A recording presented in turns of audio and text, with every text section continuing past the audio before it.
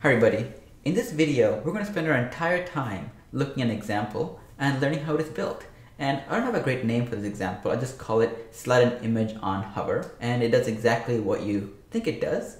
And along the way, we're going to learn some little bit of CSS layout techniques along with how to use CSS transitions to make sure the sliding is done really smoothly. So let's get started. Okay, so before we start looking at how to implement this mysterious effect, let's take a look at what it looks like. So here I have my browser, and in the browser I have an image.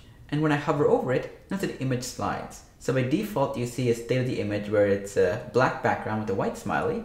And when I hover over it, you animate into a version of the image with a yellow background and a black smiley.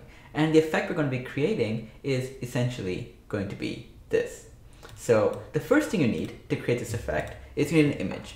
You can use any image you want, but if you want to follow along with what I'm doing, especially with some of the measurement values I'll be using, it's probably easiest to follow along the image that I'm going to be using. So just go ahead and get the image from bit.ly slash slide image. It's a simple PNG file, so take a moment, download it, and put it somewhere on disk or somewhere in your project that you can easily reference. All right, so now that we got the, the introduction out of the way and you have an idea of what you're going to create, let's go ahead and start the process of creating it. And the way we're going to do this is by gradually taking each part of our code piece by piece and building up the example in smaller chunks. So first, bring up a code editor and create a blank HTML page. I don't care what code editor you use, I don't care what is in your blank HTML page, you see the place where you can add some HTML, add some script tags. In this case, you can see here I have a very simple HTML page with really nothing going on, I have just the bare minimum content, the doctype HTML and all of that. So now let me also turn on live preview. You can also, you know, there are many ways of doing this. You can also just save and preview in the browser, but I'm using the Atom code editor with the live preview uh, package added to it. So I get to see code being updated as I am making changes. So it's kind of cool. So it would be like, hi, or P. Hi, everyone. If I can spell things correctly. It's already off to a great start, isn't it? You'll see hi, everyone displaying in the, in the code editor. I mean the preview window. So it's kind of cool. All right, so first of all, let's start it. Let's start with what we're going to do. So in our example, we have an image that slides up and down on hovering. And so whenever I'm trying to recreate an example or try to explain something, let's start with something visual first. Let's go and get the image loaded into our document. So for that, I'm going to add the image tag, img source equals, and I'm, i have a screen over here where I can I'm just going to copy and paste some of these values manually. So it's not really copy and paste after all and images slash smiley.png. And let's go ahead and close this tag. Notice that I'm missing the alt tag here. I'm just going to keep it just simple, just a, I mean, a little pound character. We're fine. See the image right here. And while we're at it, let me go ahead and just make some minor changes to make sure the image is you know, better visible. Let me add a style region and style our body element. So this will basically just do some very basic cleanup work. So I'm gonna give it a background color. Let's give it a light gray. And let's also give it a padding of 100 pixels, just so you can actually see the image much more clearly. All right, so we basically have the first step in getting our particular you know, effect going. We have the image showing up. Now the next thing we want to do really is Right now the image's top half and bottom half are showing. We want to clip it somehow. We want to make sure that we're not showing more than what we really need to unless you're hovering over it. So the way we're going to do that is by wrapping our first our image into a div element. Let me just do that right now. Okay, and just to help make it easier to style this, let's go ahead and give it a class value. I'm going to do a class value of picture container.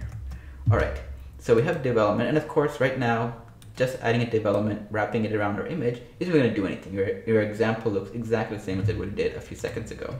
Let's go and fix that though. Let's go ahead and create a style rule that targets picture container. So create a selector dot picture container, and anything right here will end up affecting the, the div element that is currently wrapping our image element. So the first thing I want to do is, like I mentioned, is clip what you're seeing right now. Right now you're seeing both halves of the image, only want to see one part of it. So I'm going to go ahead and the width of this is going to be whatever the image width is, which in this case is 150 pixels, 150, 1,500, and the height is going to be 150 pixels as well. Okay, Now that I've done this, you know, you'd imagine that there'd be some clipping or some visual indication going on. That's not how it works. What I need to do now is explicitly tell uh, the browser that the height and width I provided will require some clipping. And that is done with the overflow property. So when I do overflow hidden, now notice that we basically have a virtual container that is 150 pixels in width and height that is now clipping everything below it. Great, it's exactly, exactly what we wanted. All right, so now we are almost at the home stretch, believe it or not. All we need to do now is make sure that when you're hovering over the image, we slide the image up and down. So what I'm gonna do is create another slide, no, create another style rule, call this picture container and image. In this case, whatever I'm typing is going to affect the image element that is currently inside the picture container div element. So what I'm gonna do here is say, actually, you know what? I'm gonna leave this one empty right now. We'll get back to this in a second. I'm gonna do picture container image hover. And what I wanna do is when I hover over this element, I want to make sure that we display the version of the yellow side of the, of the image that is currently occluded or hidden from view. So I'm going to use the translate transform and use a translate 3D function to essentially specify what exactly is going to happen. Zero pixels. And notice we're using translate 3D because of performance reasons. All right, when I hover over the element, notice that when I hover over it, you actually go from the black version of the image to the yellow version of the image. Pretty, pretty simple. And the, what we want though, of course, we want a slide, we want an animation. We want it to actually, you know, look kind of cool, look a little different than what you might have normally seen. So what I'm going to do here is to specify a transition. And with a transition, in this case, we're animating the transform property, transform, and let's make it over a period of two seconds. And let's give it an easing function. Let's just call it ease in out. All right, now I'm hovering over it. Notice what happens. The, when I hover over it, the image slides from one side to the other. Now, let's talk about exactly what happened, just as a quick recap before we, you know, call it a day. The image itself is pretty straightforward, nothing, nothing in HTML that is worth calling out. But what is interesting though is the content that is actually in the CSS. You know, the first part is actually clipping the image to make sure that only a small portion of it is visible. We only want half of it to be available, and that's, that's controlled by the picture container, with the real star being the overflow property. The next part is the easy one, which is really just making sure that when you are hovering over the image, we change the position, which is controlled by the transform property right here on image hover. And then to animate the to change in position, we make sure that we have a transition property with the transform key, with the transform property being the, the one the transition is actually, actually listening for. So there you have it, a very, very, very simple example that kind of ties in like some very simple concepts on layout, uh, mainly clipping, and also your transition and the translate 3D function to ensure you have really performant, you know, scrolling behavior when you're hovering over an image. Now, you know, if you want something even cooler, the easing function I used was ease in out, which is not the most boring easing function, but also not the most exciting one ever created either. So, you know, play with different ones, even use a cubic Bezier function if you're really, really into it, and you'll create some really cool examples like little snapping and bounces and all that. So with that, if you want to learn more about how to create similar examples, go to Kirupa.com. There's a boatload of content, boatload of content on HTML, CSS, and JavaScript topics. And if you have any questions, post in the forums. And you can also find me everywhere else on Twitter at Kirupa, Facebook, and YouTube. So I'll be happy to help answer any questions you have.